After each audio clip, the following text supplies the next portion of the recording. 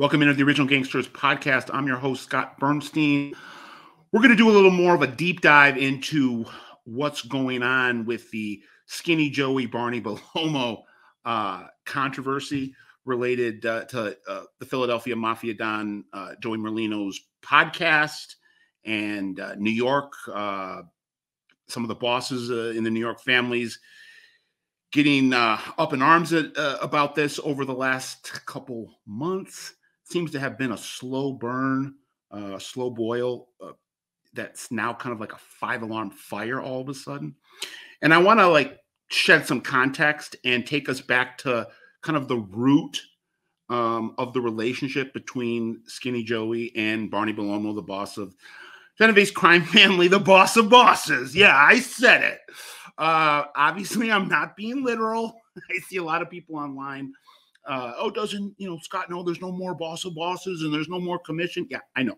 I was, I'm, uh, I'm, yeah, I'm just referring to the fact that Barney Bellomo is the most powerful mafia don in America right now, and definitely in New York City. His weight holds more weight than any of the other bosses in New York City, as well as any other bosses in the other regional mafia families.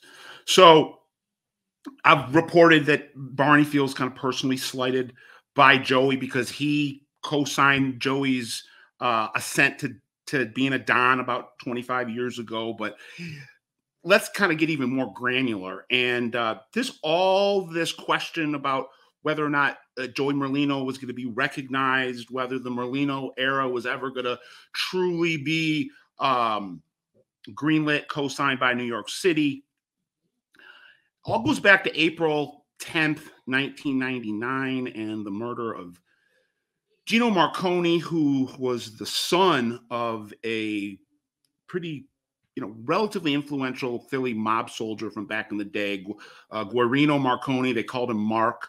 Uh, him and his brother, uh, Funzi, Mar- uh, Funzi Marconi, Alphonse Marconi, were very close friends, associates, criminal co conspirators with the one and only little Nicky Scarfo, uh, the maniacal, bloodthirsty Philadelphia mafia don in the 1980s.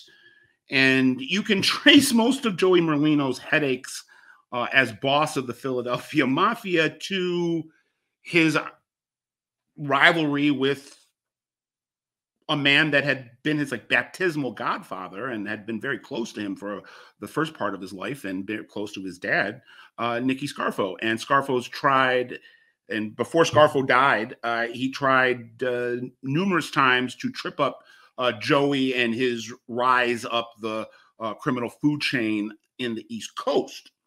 So it's the spring of 1999. Uh, uh, Ralph Natale has been pretty much pushed out of the boss's seat in Philadelphia. Merlino takes it for himself. He'd already been basically a, a, street boss, underboss, front boss for the previous couple years, but now it's kind of officially his. We all know that he, him, and Ralph rose to power in an unconventional manner. They kind of made themselves, or Joey was made, but he made Ralph. Ralph, Ralph made himself boss. Kind of strange, but Ralph had sanctioning from New York City. Uh, so when Joey's, you know, on the ascent, taking over as official boss at that point, Gino Marconi is an independent racketeer in South Philly. He's doing a lot of different things, bookmaking, loan sharking, drugs. Uh, he's running like a you know makeshift auto yard, making a lot of money. And the Merlinos want a piece of it, or he had given the Merlinos a piece of it. I think when Ralph was there, and then when Joey took over, his father, a Nicky Scarfo disciple, at that point, Nicky Scarfo had been locked up for 12 years. Um, but his father tells Gino, uh, you don't have to recognize Joey. We don't recognize him. New York doesn't recognize him. And basically go, you know, Joey, go fuck yourself. Tell Joey to go fuck himself. Um, and tell Joey's guys to go fuck themselves. This leads to, uh, if you believe the FBI, uh, the Merlino crew putting a contract on Gino Marconi's head. He's killed on April 10th, walking out of his house in South Philly. He's his girlfriend uh, Patty Miley was uh, shot and wounded in the attack, and this sets off a string of meetings and sit downs, both in prison and uh, on the street, uh, between the Philly guys, New York City. Barney is in prison at this point, and it's like a six to eight month ordeal about whether or not New York is going to recognize and sanction uh, Joey Merlino's ascent to boss. Now, we all know that Joey would get locked up a couple months later in the summer of 99, be convicted at the 2001 uh, trial in Philly and go do 12 years in jail. And you know, his his uh, his guys uh, that were left on the street, mainly Uncle Joe Ligambi, had to take over. And Ligambi, just one of the most underrated mafia dons uh, of all time, did such a miraculous job putting that thing back together. But there were some real questions there, it, you know, throughout the rest of 1999 and into 2000 about what was going to happen. We know that there was a plot being hatched by the New Jersey faction of the Philadelphia mob, Pete the Crumb, uh, with the Lucchese's and the Gambinos. Again, Lucchese's that's a Nicky Scarfo play because of his relationship to to those uh, to that uh, organization. And uh, there was a plan to kill Joe Ligambi, Georgie Boy Borgesi, Handsome Stevie, uh, Mazzone, uh, that got you know uh, blown up. The plot got blown up because Pete the Crumb uh, got uh, locked up. Georgie and Stevie got locked up. Pete the Crumb flips, but Barney Bellomo, who at the time was known as the, if he wasn't the boss, he was the boss in waiting. He was the Chin's protege. The Chin had gone to jail in 97, was in uh, failing health. And Barney was, he was the guy, even though he was locked up, even though he would be locked up for another decade.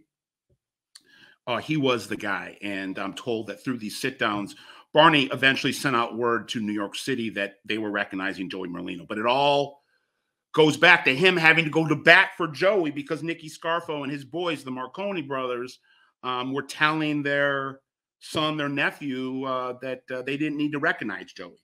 And that's when it came to Barney having to step in, uh, validate that Merlino administration, uh, which has led to him being offended that Merlino and this podcast is is causing so many issues. We have more news fresh news, fresh insight to report this week that we'll be coming out with uh, related to that controversy and the fact that, according to our sources, Barney uh, and the Gambinos have put out like a what I'm being told is like a leverage embargo, uh, stopping temporarily stopping business with Philly to try to leverage Joey uh, out of the podcasting game, and I'm told possibly out of the fold altogether, and just depose him uh, as punishment for you know breaking this these rules that they feel are, are so sick are, are, so sacred. Uh, Joey would tell you he's no longer the boss. There's nothing to depose him from, and uh, he's just trying to go legit. So again, I'm just reporting uh, what we're hearing on both sides of this, and we will always give you the most uh, pressing, breaking, and exclusive news here at the OG Pod. Scott Burnstein, OG Pod out.